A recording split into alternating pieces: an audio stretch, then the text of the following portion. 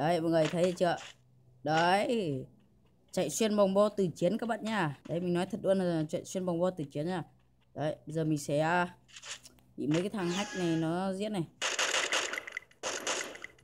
Ui rồi hết sọn điền đấy, nếu mà nói thật thì mình cũng làm rồi nha ok.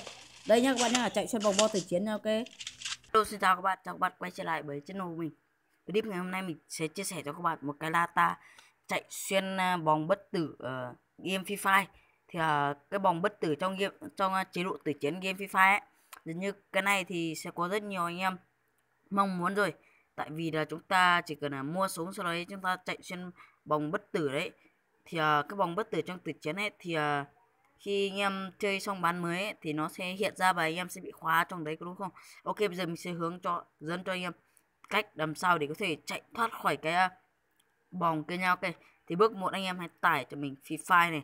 Đương nhiên uh, free fire ai cũng có rồi đúng không? Đấy thì uh, nếu không có free fire thì làm về cái vấn đề này làm gì đúng không anh em? Đấy rồi thì anh em tải cho mình nó trên là ứng dụng Zachiver cho mình. Ok anh em click vào. Và đinh tải mình sẽ để dưới phần mô tả. Đây là ta chạy xuyên bo tự chiến đây thì uh, đinh tải ấy, thì uh, mình để rất là ngắn gọn và rất là chi tiết đấy thì uh, mọi người chỉ cần tải ứng dụng Zachiver này về là được rồi. Thì bật tải cái file là ta chạy xuyên bo tử chiến này về là được rồi ok nhá. Rồi thì bước 1 anh em sẽ ấn vào. Sau đây anh em sẽ chọn xem. Em uh, ấn vào anh em có thể thấy là đây nó có thư mục là com.dts và define th thì cái thư mục này nó chả khác gì cái thư mục uh, ở Android này. Đấy Lata này đấy đấy anh em có thể com.dts free file th đấy. Chả nó chẳng khác nhau đâu. Rồi anh em đừng có xóa nó đi nha. Anh em đừng có xóa cái này đi nha. Xóa này đi không thể cài được. Nhau ok. Rồi anh em chọn bộ nhớ này. Anh em sẽ chọn ờ, uh, data chuyện xuyên này. Anh em sẽ xem này. Đấy anh em sẽ ấn giữ vào đây. Anh em chọn sao chép. Ok. Anh em chọn trên cùng màn hình. Anh em chọn bộ nhớ thiết bị. Ở đây thì à, anh em là tải về thì anh em hãy ấn vào mục tải về này để tìm kiếm nha ok thì à, mình đã cắt nó ra đây rồi ok. Rồi sau đây anh em sẽ chọn vào à, Android anh em chọn data. Sau đây anh em sẽ dán. Rồi vậy là tiệm đã thiết bị thành công nha ok. Thì nếu mà nói thật thì nó sẽ hiển thị như là đây nha. Ok từ từ này.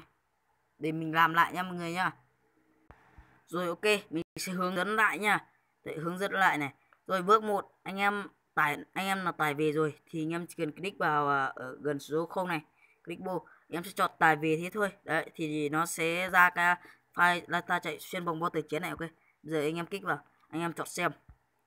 Anh em ấn dưới vào thư mục com.dts free file th. Em ấn sao chép sao chép ok. Anh em chọn bộ nhớ thiết bị à, anh em chọn trên cùng màn hình. Anh em chọn bộ nhớ thiết bị. Anh em chọn android. Anh em chọn data. Đây nhá data. Đây ok. Anh em ấn dán đây anh em có thể thấy là bởi thì à, vừa nãy nó không hiển thị như thế này đúng không? Đấy, bây giờ anh em sẽ ấn áp dụng tất cả tiệp thay thế.